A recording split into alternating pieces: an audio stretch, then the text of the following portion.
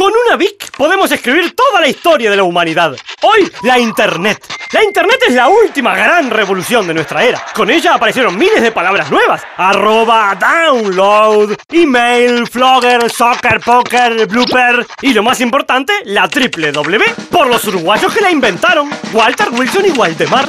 Esta historia continuará. Vic, escribí más.